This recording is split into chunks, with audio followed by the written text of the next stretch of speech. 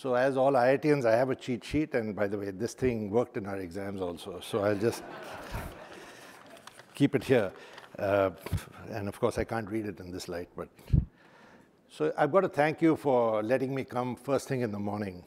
You know, most of the talks I've given or the panels I've been in, I've been number three or number four. And, you know, that sort of makes you feel like uh, Elizabeth Taylor's third husband. Sort of, you know what you've got to do, you just don't know how to make it interesting. so.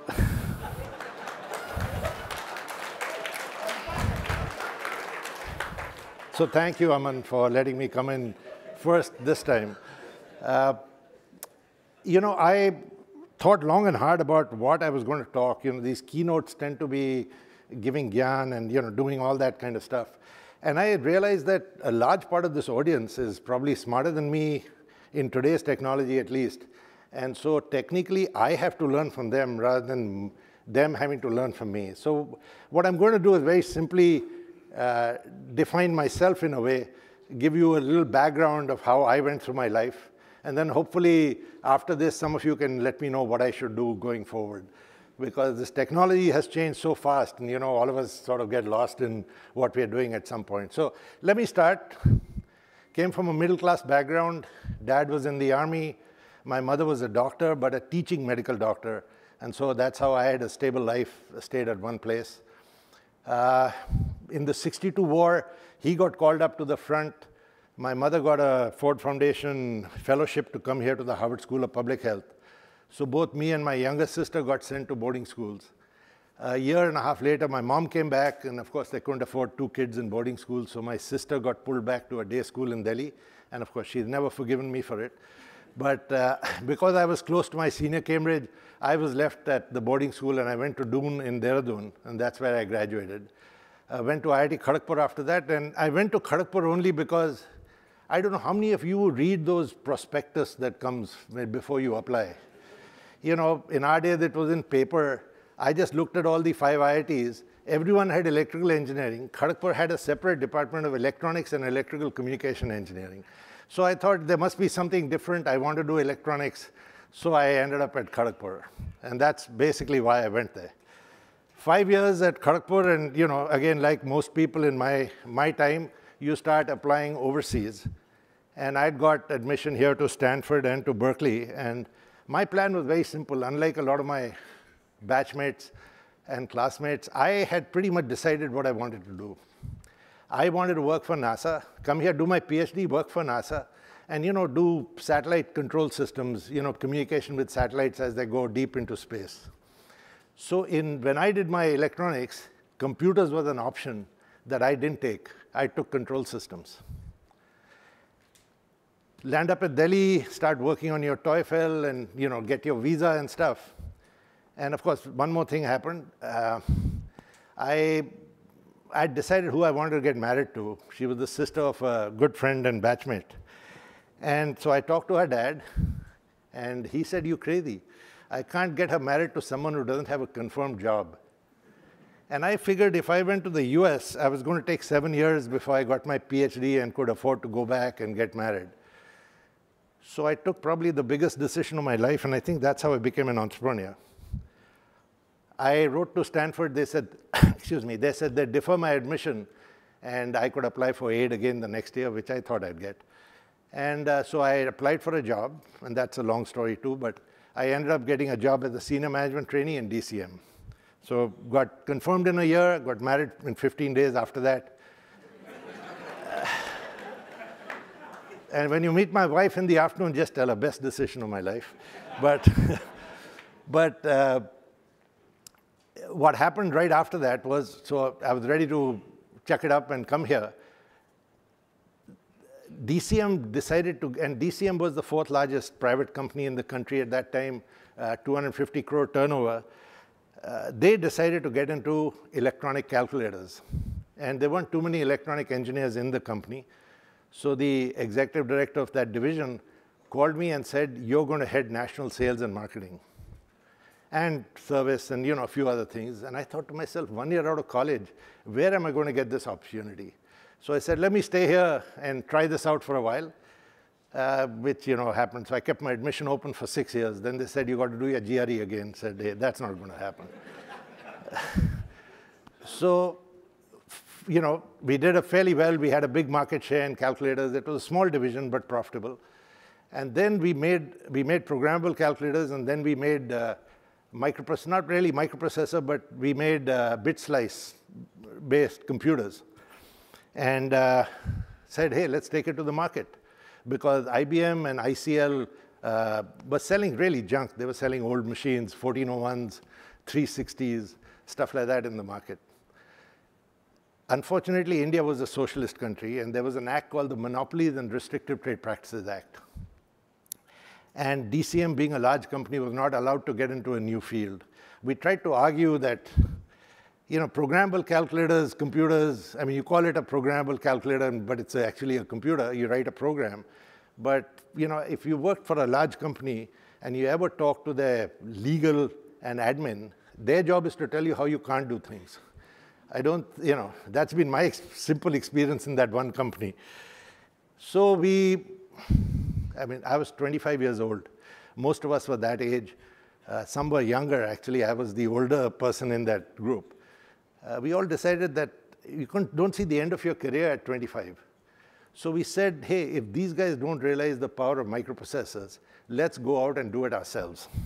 Now we've got to remember no business plan, no money, just that I know the market, I know this technology is going to change the world, I have this gut feeling, so let's go out and do it. And so in my grandmother's, not really garage, my grandmother's Barsati, uh, we sat down and said, put our money together. We had a lakh and 75,000. And uh, started, said, we don't have the money, you know, we got to invest in R&D to develop computers. So let's sell calculators, which is something we know to do this. And of course, uh, you know, uh, we started Microcomp, it was called, in October 75. In uh, August 76, uh, our computer was ready.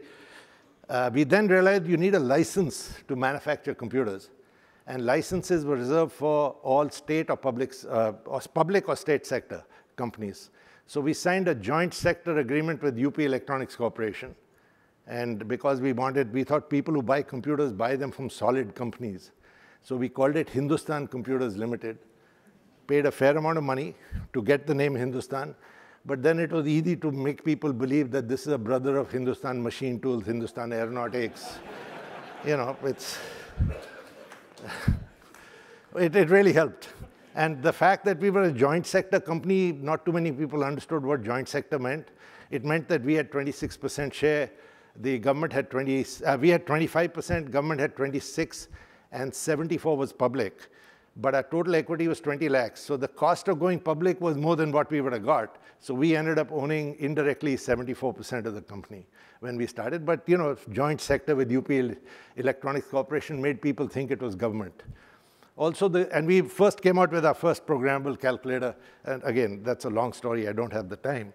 But the good news was when we announced our 8-bit microprocessor in India, and I've got to mention that we announced it in the same month and year as which Apple announced the Apple One here in the US. So, you know, in a way, in hindsight, I'm very proud of it that we were able to do it in that time frame. but the day we took out our ad, a full page ad in all the national newspapers, the headlines were that IBM and Coke were leaving India. And so in people's minds, somehow we were the replacement for IBM. And that obviously helps. If it's in their mind, then you try and reinforce it without really reinforcing it. but you know, you, those are the breaks that always help. And as I said, you know, when you, the way you got to live your life is you're dealt a set of cards. You that, those are the ones you got to play with. You can't keep asking for a joker. It doesn't always happen. And so basically, those are the breaks you get.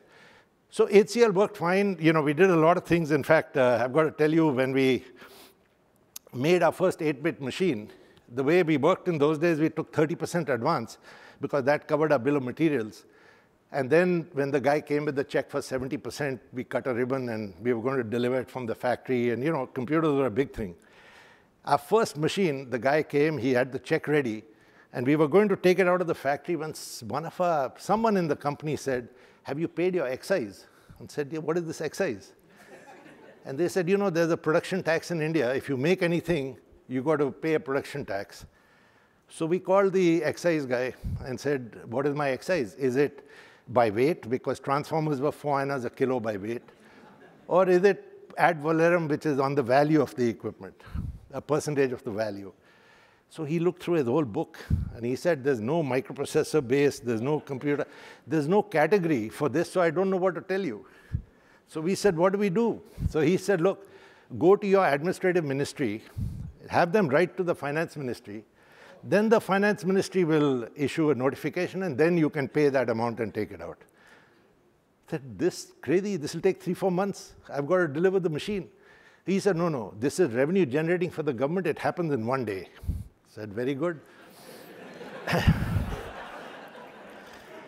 so the Department of Electronics had just been started and because they thought electronics was the future in India. And so we go to DOE and give them this full presentation and tell them what we're doing and say, please write to the Ministry of Finance. And they look at us and say, you know, the microprocessor policy has still not come out. We expect it to take four years, so please come back four years later, and then we'll write that letter. So, you know, think about it. You've got this machine ready, you've got customers who paid you advance, they're willing to pay you the balance, you bought all the parts, so this was on a Saturday. We used to work half day Saturday in India in those days. The government used to work second and third or second and fourth or something like that. But whatever. So we go home very depressed. Everyone takes this uh, excise book home, said, let's have a look at it again in carefully. And then you discover, you know, import substitution was a big thing in India because they wanted to try and save dollars. So anything that got imported, automatically they set up a code for it in the excise manual. And so there was this uh, electromechanical accounting machines from Robotron accounting machines that came from East Germany. And they had a photograph with a keyboard, a small display, and a printer. And so we showed it to the excise guy, and we showed him our machine. He said, ah, it's the same thing. so, so for four years, we actually excised our machines out as accounting invoicing machines. We even sold one to the Department of Electronics, by the way. you know, it did take four years. That so, you know, I just wanted to give you an idea. That was the kind of environment we worked in in India at that time. I mean, it was a lot of fun. Uh,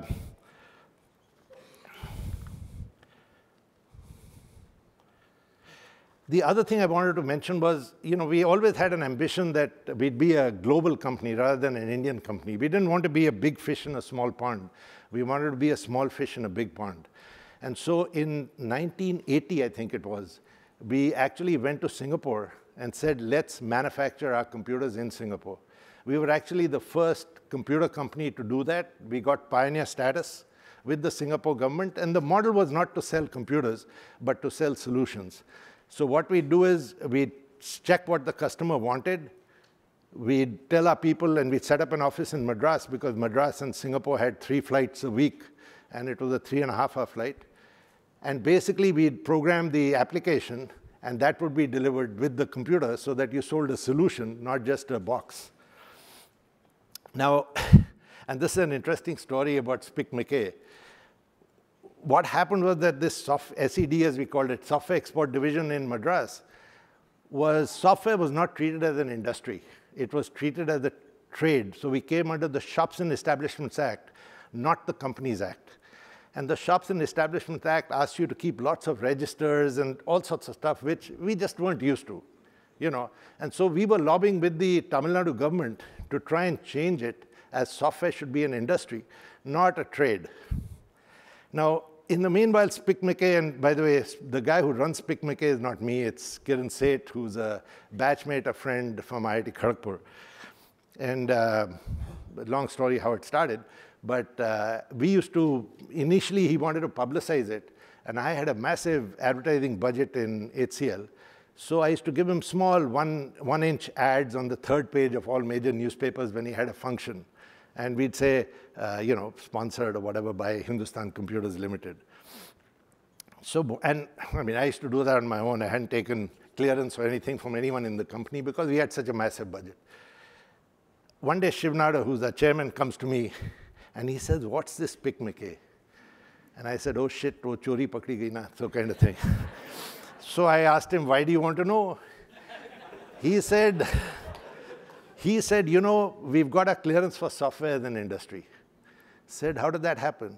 He said these guys from Tamil Nadu, these bureaucrats from Tamil Nadu saw this ad, which was sponsored by Hindustan Computers Limited. He said, you know, if you're doing this kind of thing, the company must have a soul.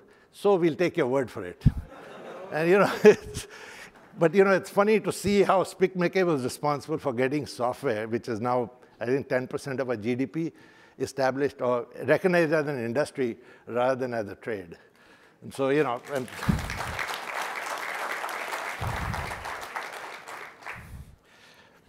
so 10 years, and I have time here, 10 years after I started HCL, I had what I think some of you may understand is called a midlife crisis.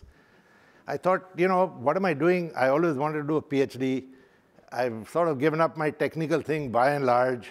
There's nothing much I'm doing. And so, and of course, the company had grown large. What had happened is to get a circular to the last guy would take one month because we're all over the country. And, uh, you know, there were crazy days. You didn't have phones. So what you ended up doing, you remember ISD PCOs? Yes. So we used to always keep our service office in a remote place near an ISD PCO. And then we take a wire from there and string it all the way to our office. So we had a phone. You know, that's technically how we serviced from some 2,000 locations in India when we were growing up. But yeah, it, I wasn't having fun.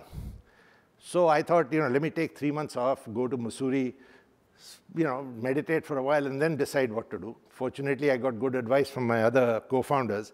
And they said, look, that's not the way. You'll still be as confused three months later. so why don't you go do a course somewhere? And so I came here to the Harvard Business School for a 13-week course called the Advanced Management Program. And I think that cleared up my head because what I realized was that I didn't really enjoy running a big company. I, I missed the fun of a startup. And so when I went back, I said, I don't want my old job back. I don't want to run HCL sales. I want to start everything new. Anything new that we are doing, I want to do that. And so the board said, great, but you can't only do what you want to do.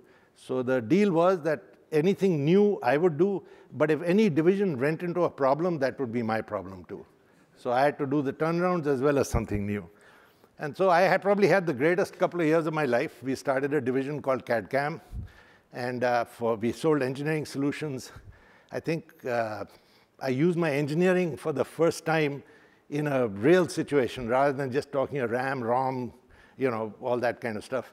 When you were trying to educate people as to what computers were. In fact, uh, when talking about RAM and ROM, I remember I was called once to give a, a Punjabi definition of what a computer was to the Chief Minister of Punjab. Yani, uh, I think, I forget now, Dayal Singh or Darbara Singh or some. And so, you know, you can't RAM, ROM, uh, your memory. I mean, how the hell do you say it in Punjabi? so,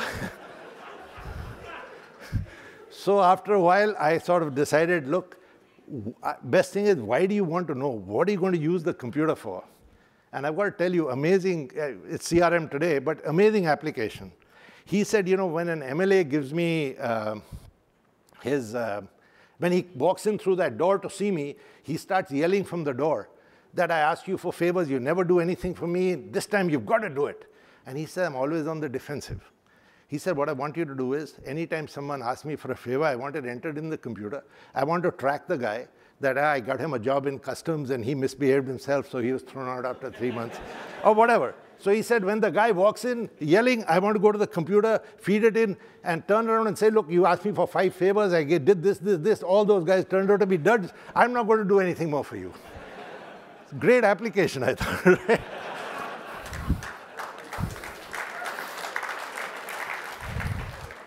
And of course, you know, since I'm talking about applications, we had a small customer. Those days, computers used to cost a lot. I mean, our 8-bit uh, machine used to cost 3,64,100 and came with two built-in solutions. So there was this small company, really small company called Hilton Rubber in Connaught Place. And he placed an order with advance for this computer. So I thought I better go meet him because you don't want a bad reference and stuff. So I go to this guy and say, you know, like, in a polite way, I don't say that directly, why are you spending so much money to buy this computer? What are you going to do with it? And so he said, look, basically, I compete with Dunlop and Madras Rubber Factory and all these MRF and all these people, and I have 200 customers. I just want to make sure my 200 customers stay with me. And so what I want is, I will give you the data that this customer, his wife's name is this, anniversary, this birthday, this kid's name is this, he has his coffee black with one sugar, he likes this Chinese food or whatever. I'll give you all the data, just put it in. When that guy comes to see me, I want to check this before he comes. So I give him his coffee exactly the way he wants. I order the right Chinese food, the right dish that he likes, etc., etc. Again, CRM, if you look at it in today's language. You know, I think a month or so after we delivered, I'd gone to see him. He told me the computer's paid for itself. He said, none of my 200 customers are going to move anywhere, right? Hey, that's what. So it's amazing what people did with these computers in the old days. Yep, so midlife crisis, I went back. Uh, we ran into a problem here at HCL America. We came here to sell hardware to, in the US. We had a big order. The order went south because the company got bought by SCI out in Texas. And SCI wanted Intel only, and we were Motorola 68,000 based. So I was sent here, and the person ha handling this went in for a bypass. And those days, bypasses weren't common. So I was sent here to make sure he didn't overstrain himself and to shut down the company uh, quietly because we'd taken a lot of mileage saying brain drain, HCL computers go to the US and all that kind of stuff.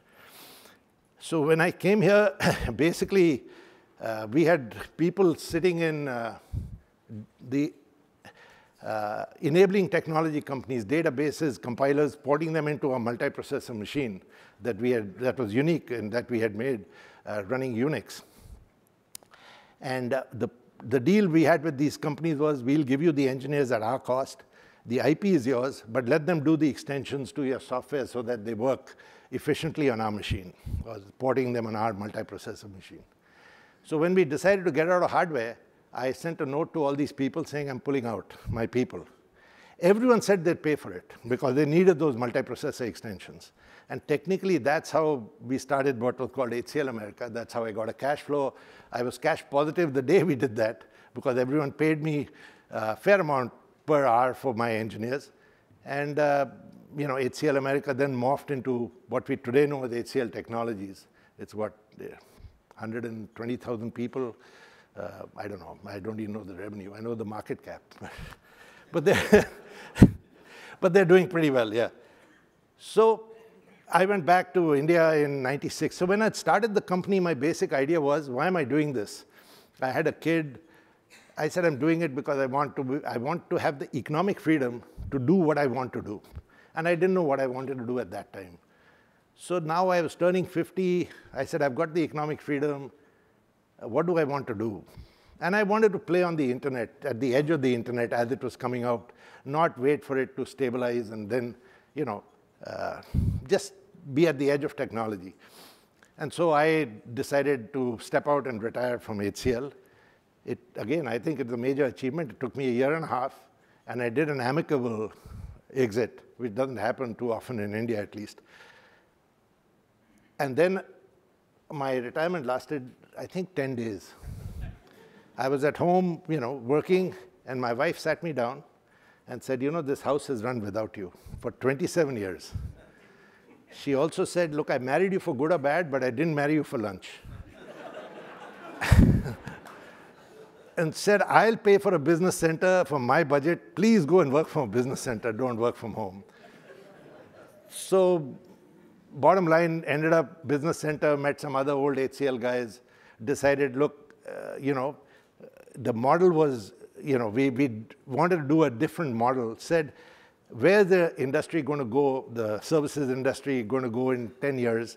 And we said, look, it's going to be domain focused. It's not going to be, give me a Unix C programmer or whatever the hell you had, but you've got to have to talk domain with the customer. You've got to show value add. You've got to discuss the business problem and then give, use IT to give the solution, not just give a project manager who doesn't understand the jargon of the business.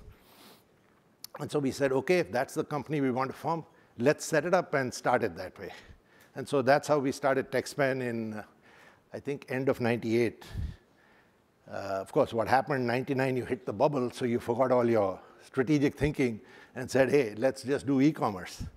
And we grew phenomenally, actually, did uh, 14 million, 15 million in our first year, did uh, 74 million in our second year, which is calendar 2000. The reason we survived was we made a profit, and people were discounting us to buy us or take us public because we were profitable. I don't know how many of you remember those days. And so we didn't go public, which is why we survived. And then, of course, the slowdown hit. And uh, I mean, I was tied up. My dad wasn't well. He passed away late in August 2001. But uh, I wasn't spending too much time here. So when I came back, we decided that in the services business, standing still doesn't help. So we did an interesting thing. We said, look, this slowdown is going to go away sometime. Let's keep our cash flow neutral. And we didn't lose money any month from a cash flow point of view, except for 9-11, that particular month, yes. But what do we do? So we did, a, did something which we called asset light. So we said, let's focus on the capital markets, the investment banks in New York. And everyone had laid off. And let's talk domain, which is what our strategy was. So we'd go to these bars and meet with people who are laid off and talk to them and you know whatever. And then Goldman would say, look, I need someone in municipal bonds. And I remember talking to some guy from Morgan Stanley who'd been laid off who came from municipal bonds. So we talk, catch that guy and tell him, come with us for this call, as pre-sales call. And if they like you and give us the job, I'll give you a job. So it was asset light till you got the job. And it really worked because we got some people placed, we got some revenues, and they were nice revenues. And when the markets came back, the people who didn't get jobs felt, and they all go back, it's an incestuous setup, that mm, uh, Wall Street. So they all went into JP Morgan or wherever, but they remembered that we tried to help them.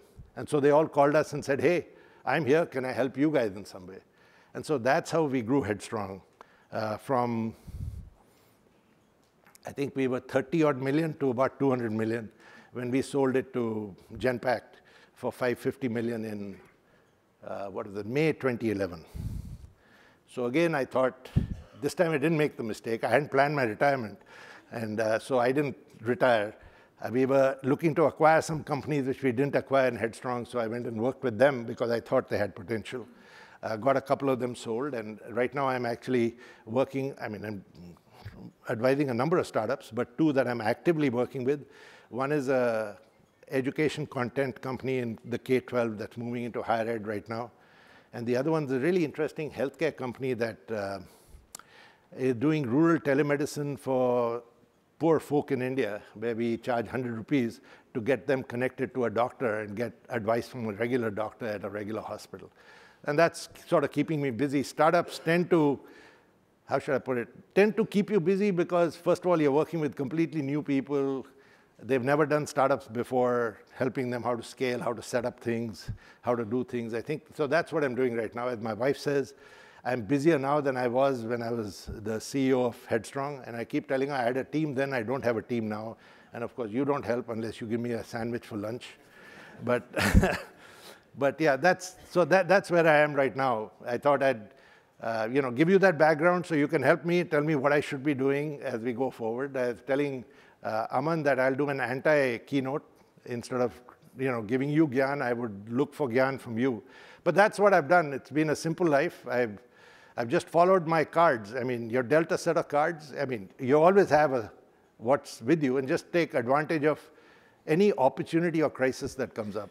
You know, and that's, that's really how I look at life, that, hey, I'm not smarter than anyone. I'm not better. I try to work harder. Doesn't always work.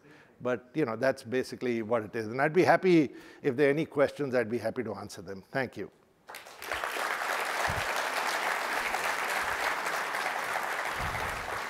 Check. Thank you so much, Arjun, for your talk. Uh, I guess if there are questions, we can take maybe one or two. I would like to invite Aman to give you a gift and um, maybe Maybe you can take one question while Aman is walking up.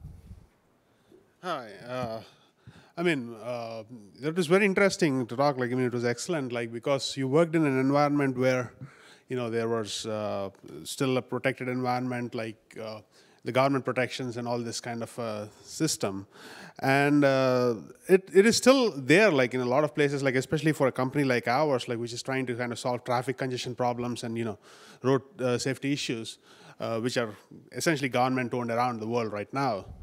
Uh, but a lot of the VCs kind of are sho shoving us away, like, or kind of not willing to work. What advice would you have, like, on how to raise money, or how did you guys raise money to kind of, you know, build computers in those days, like, essentially as a small startup, one lakh seventy-five thousand. With that, did you were you able to build uh, systems in those days, like essentially, or how did you bootstrap yourself? No, we just those days you could when you had parts, you could get a, uh, you could discount them 60% or so with the banks. So the banks, without realizing it, were the VCs in our time, and they were happy to get the interest. Basically, that's how it worked. We didn't actually, till we went public, some 20 years later, we didn't get any money from outside. It was all generated internally. Would, would that be of interest to you to kind of advise a startup who's trying to tackle much more challenging problems like you tackled in those days, like you know, rather than just uh, social ventures right now? you know, I can tell you something that living and breathing cash flow 80% of your life for 20 years is not a very pleasant thing.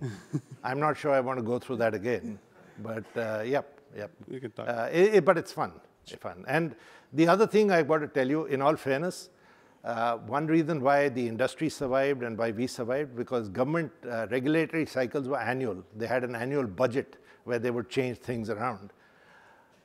Uh, computer technology cycles were quicker than annual. So they were always regulating what we didn't need, which was really nice, right? So we never really got regulated per se once we got into the business. I'll give you a great example. You know, the banks, uh, didn't want to get into computers because, you know, computers, people will get out of jobs, the unions are very strong. So it took us many, many years to actually come to an agreement with the banks and them with the unions. And we never sold them computers. They were called, they were PC-80s, but they were called advanced ledger posting machines.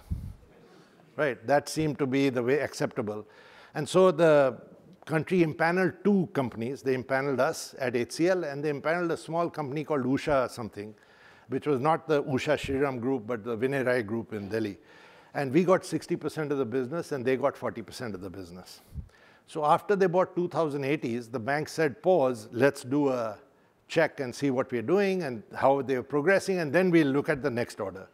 Now, what happened was we have obviously had other markets we sold to, but Usha had decided only to sell to the banks. So they pretty much went under because they had no other customers. They had only these parts for the 80s which they got for the banks. Now, when the, uh, when the government opened it for the banks, DRAM's duty was 25%, right? When the banks stopped buying, the next year the government kicked up their duties to 140% on imported DRAMs. Usha made a killing selling their DRAMs in the market because they'd imported them at 25% and they had them sitting in stock as dead stock for a year. And then they sold them at that higher price because the price of the DRAMs in the market had gone up. And so sometimes when you sat in India, you got frustrated because, hell, I'm working so hard and trying to make profit, and here's someone who just played the system in a way without really knowing whether he played it, knowing it or not, I have no idea. But yeah, that, that was the market in those days. So Fortunately, that doesn't exist to a large extent today because most of that regime has been disbanded.